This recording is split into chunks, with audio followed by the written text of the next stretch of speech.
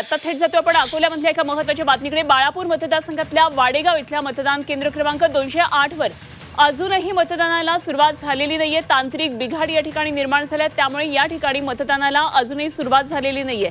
आता एक तास मतदान सुरू होऊन झालेलं आहे. खरं तर सात वाजता मतदानाला संपूर्ण राज्यामध्ये सुरुवात झालेली असताना बाळापूर मतदारसंघातल्या वाडेगावमध्ये मात्र अजूनही मतदान सुरू झालेलं नाहीये. जयेश जगड आमचे प्रतिनिधी आपल्या बरोबर आहेत. आणखी तपशील जाणून घेऊया. जयेश काय नेमकं झालंय? वाडेगाव मतदान केंद्रावर दोनशे आठ वर या मतदान केंद्रावर अजूनही मतदान सुरू झालेलं नाहीये.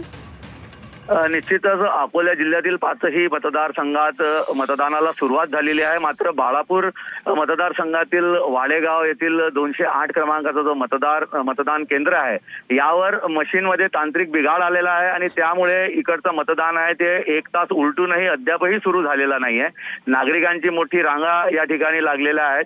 मात्र दुरुस्ती करण्याला वेळ लागणार किंवा मशीन जे आहेत ते बदलून देण्यासाठी वेळ लागणार असल्याचं येथले जे अधिकारी आहेत ते म्हणत आहे. आणि लवकरात लवकर हे मतदान सुरू होईल असं त्यांचं म्हणणं आहे. तरी मतदानाची जी वेळ आहे ती एक तास उशिरा झालेला आहे ते नागरिकांची मागणी आहे की ही वेळ जी आहे ती एक्सटेंड करून द्यावी. आणि तरी हा एक्सटेन्शनचा जो काळ मागितलेला आहे ते आम्ही देणार नाही असंही या ठिकाणी अधिकारी. म्हणत आहे. ठीक. जयेश धन्यवाद दिलेल्या माहितीसाठी. अपडेट्स आपल्याकडून वेळोवेळी जाणून घेत राहू. तुर्तास धन्यवाद दिलेल्या माहितीसाठी.